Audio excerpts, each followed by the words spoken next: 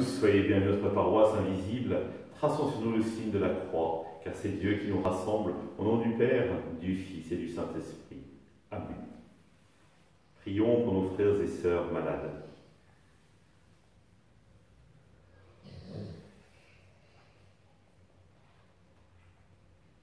Prions pour les soignants et ceux qui œuvrent pour le bien commun.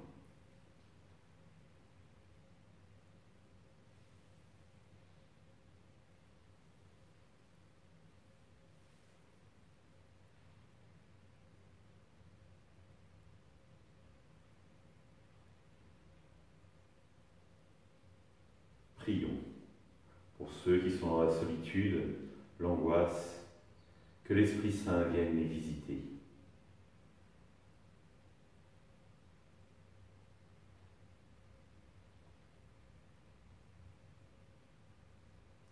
Pour manifester notre communion, je vais maintenant allumer cette bougie au cierge pascal.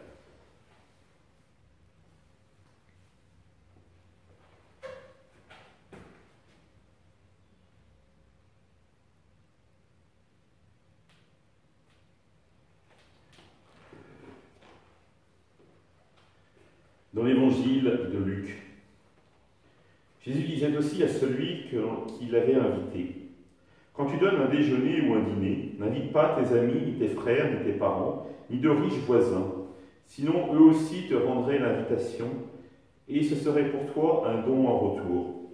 Au contraire, quand tu donnes une réception, invite des pauvres, des estropiés, des boiteux, des aveugles. Heureux seras-tu, parce qu'ils n'ont rien à te donner en retour. Cela te sera rendu à la résurrection des justes.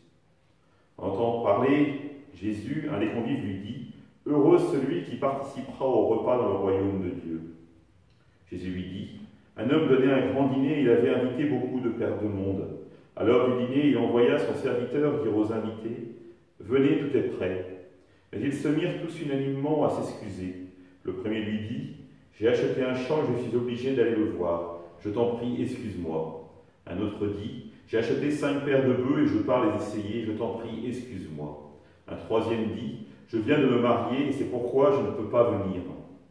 De retour, le serviteur rapporta ces paroles à son maître.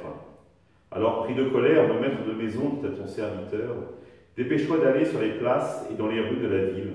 Les pauvres, les estropiés, les aveugles et les boiteux, amène-les ici. Le serviteur revient lui dire, Maître, ce que tu as ordonné est exécuté et il reste encore de la place.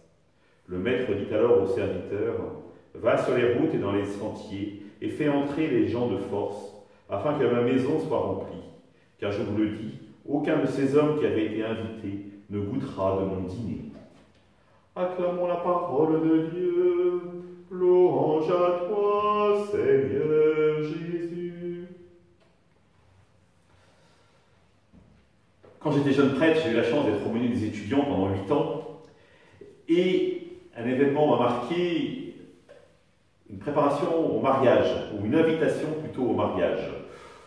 Il faut bien reconnaître que souvent l'aumônerie était une agence matrimoniale et de nombreux étudiants se sont mariés ensemble. Et souvent je les ai accompagnés dans cette démarche.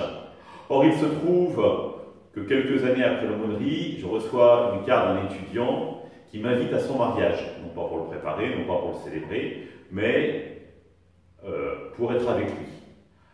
Et ça m'arrivait assez souvent de recevoir ce type de demande, d'invitation, et en général, je les déclinais de manière assez polie, parce que j'avais, me donnais comme excuse, j'en prépare et j'en sais déjà suffisamment. Et là, il me renvoie un mot en me disant, je suis un peu déçu, parce que pour moi, c'était important que tu sois présent si je t'ai invité, et tu dis que ce n'est pas une priorité pour toi.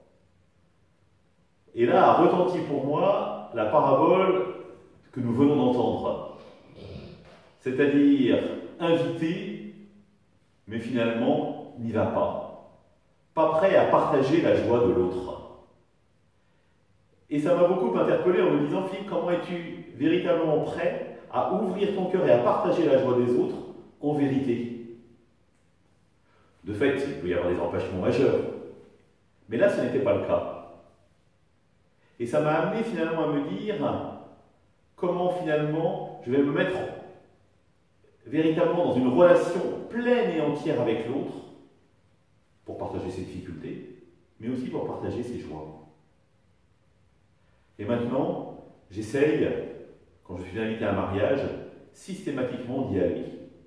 Ou quand on m'invite, d'y aller parce que justement, il y a la joie de la rencontre et la joie de vivre un moment de bonheur.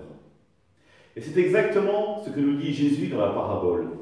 Dieu veut nous inviter à son repas, à ce repas de noces, les noces de l'agneau, l'alliance entre l'homme et Dieu, réalisée en Christ. Voulons-nous véritablement participer à cette joie de Dieu? Finalement, nous trouverons toujours de bonnes excuses pour ne pas y aller, pour ne pas célébrer l'Eucharistie, la rencontre personnelle avec le Christ dans la prière chaque jour. Alors que Dieu ne cesse de frapper à notre porte, plein de multiples tâches peuvent nous accaparer. Nous ne disons sans doute jamais, je fais de la peine à Dieu. En revanche, pour être sûr que si nous commençons à ouvrir notre porte, nous le mettrons dans la joie. Car la joie de Dieu, c'est la rencontre de l'homme, une rencontre vraie, qui transforme l'homme et qui touche le cœur de Dieu. Alors ensemble, ouvrons notre porte, ouvrons nos cœurs pour dire ce oui au festin que Dieu nous prépare. Ensemble, nous prions. Notre Père, qui es aux cieux, que ton nom soit sanctifié, que ton règne vienne, que ta volonté soit faite sur la terre comme au ciel. Donne-nous aujourd'hui notre pain de ce jour.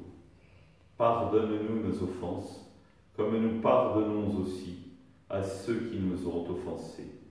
Et ne laisse pas entrer en tentation, mais délivre-nous du mal. Amen. Que le Seigneur nous bénisse, nous accompagne notre journée, nous garde dans la paix. Au nom du Père, du Fils et du Saint-Esprit. Amen. À demain.